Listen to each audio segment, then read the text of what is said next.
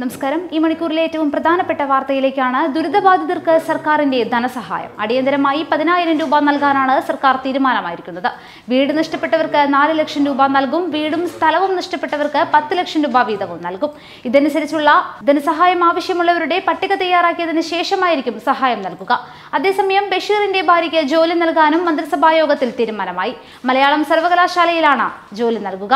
ശ്രീറാം വെങ്കിട്ടരാമൻ മദ്യലഹരിയിൽ സഞ്ചരിച്ച കാറടിച്ചു മരിച്ച മാധ്യമപ്രവർത്തകന്റെ കുടുംബത്തിന്റെ സംരക്ഷണം സർക്കാർ ഏറ്റെടുക്കണമെന്നാവശ്യപ്പെട്ട് പ്രതിപക്ഷ നേതാവ് ഉൾപ്പെടെയുള്ളവർ രംഗത്തെത്തിയിരുന്നു.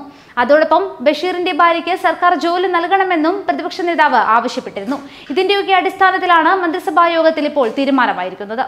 അതേസമയം സംസ്ഥാനത്ത് വീണ്ടും മഴ കനക്കുകയാണ്. ബംഗാൾ ഉൾക്കടലിൽ രൂപം കൊണ്ട ന്യൂനമർദ്ദം ശക്തി പ്രാപിക്കുന്നതുകൊണ്ടാണ് സംസ്ഥാനത്ത് വീണ്ടും മഴ ശക്തി പ്രാപിക്കുന്നത്.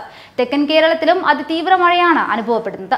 മലബാറിലും മഴ കനക്കുകയാണെന്നാണ് റിപ്പോർട്ടുകൾ. ഈ സാഹചര്യത്തിൽ കനത്ത ജാഗ്രതയിലേക്ക് നീങ്ങുകയാണ് കേരളം. കഴിഞ്ഞ രാത്രി മുഴുവൻ തെക്കൻ കേരളത്തിൽ ശക്തമായ മഴയായിരുന്നു. മഴക്കെടുതിയിൽ മരണം നൂറായി ഉയരുകയും ചെയ്തു. ഇനിയും അൻപത്തിയൊന്ന് പേരെ കണ്ടെത്താനുണ്ട്. ഇന്ന് മലപ്പുറം കോഴിക്കോട് ജില്ലകളിൽ അതിതീവ്ര മഴയ്ക്ക് സാധ്യതയുള്ളതിനാൽ കേന്ദ്ര കാലാവസ്ഥാ വകുപ്പ് റെഡ് അലർട്ടും പ്രഖ്യാപിച്ചു. ഇവിടെ ഇരുപത്തിനാല് മണിക്കൂറിനുള്ളിൽ ഇരുന്നൂറ്റി നാല് മില്ലിമീറ്റർ കൂടുതൽ മഴ പെയ്യാൻ സാധ്യതയുണ്ടെന്നാണ് പ്രവചനം. ജനങ്ങൾ ജാഗ്രത പാലിക്കണമെന്നാണ് ദുരന്ത നിവാരണ അതോറിറ്റിയുടെയും മുന്നറിയിപ്പ്. മുഖ്യമന്ത്രിയുടെ ദുരിതാശ്വാസ നിധിയിലേക്ക് ഇന്നലെ മാത്രം എത്തിയത് ഒന്നേ പോയിന്റ് എട്ട് രണ്ട് കോടി രൂപയാണ്. ഊർജിത സമൂഹ മാധ്യമ പ്രചരണത്തെ തുടർന്ന് കഴിഞ്ഞ ദിവസവും രണ്ടര കോടിയിലേറെ രൂപ ലഭിച്ചിരുന്നു.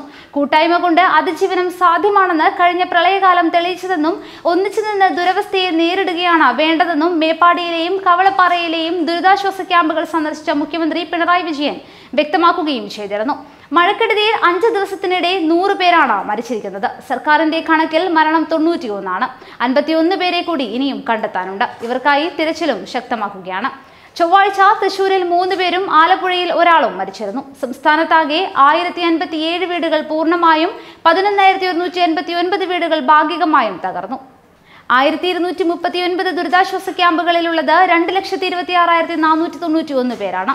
നിലമ്പൂർ കവളപ്പാറ ഉരുൾപൊട്ടിയ ഭാഗത്ത് ചൊവ്വാഴ്ച നടത്തിയ തിരച്ചിലിൽ നാല് മൃതദേഹങ്ങൾ കൂടി കണ്ടെ കണ്ടെത്തിയിരുന്നു.